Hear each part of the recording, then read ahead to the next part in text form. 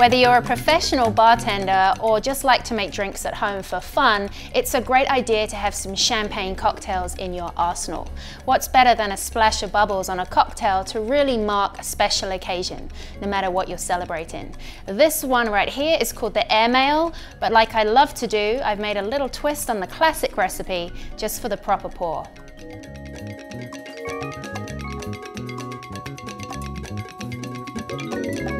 The classic air is just rum, lime, honey and sparkling wine. It's kind of a similar composition to the French 75, which would be gin, lemon, sugar and champagne.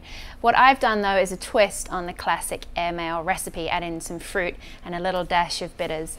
Let me show you. First of all, we have fresh pineapple, about five or six little pieces there, which I'm gonna muddle. Just pressing down here to make sure I get all that beautiful juice, fresh flavor, sweetness of the pineapple. Next up, I'm gonna add in a half ounce of fresh lime juice. Just gonna squeeze straight into the jigger so I can make sure I have exactly as much as I need. There we go, a half ounce. And then for a sweetener for this cocktail, we're gonna stick to honey as the classic recipe calls for, a half ounce of two to one honey syrup. And then, most of all, we have our base spirit, the Flor de Caña 7 year, which is a beautiful choice for this cocktail from the uh, tropics of Nicaragua, an ounce and a half. And then finally, just before I shake, a couple of dashes of bitters. I've chosen for this drink, for these flavors, the Bitter Truth Aromatic Bitters. Just two dashes. And I'm gonna fill this up with ice and give it a good old shake.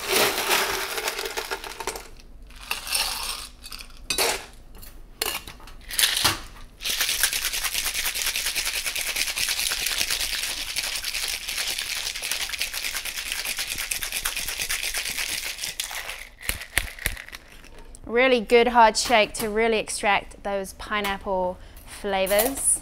Now, first part of the cocktail serving is double strain into the flute. Now, this method takes a tad more time, but it's really worth it for the wonderful smoothness you get as a result.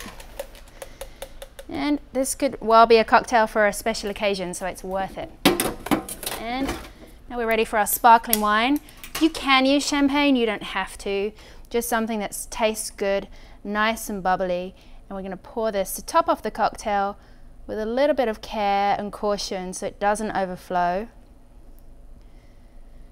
And just enough to give us a nice refreshing top to this airmail variation. And before I go, we'll give it a little garnish, something aromatic like a little mint leaf touch of contrast of color is always a great idea for your cocktails.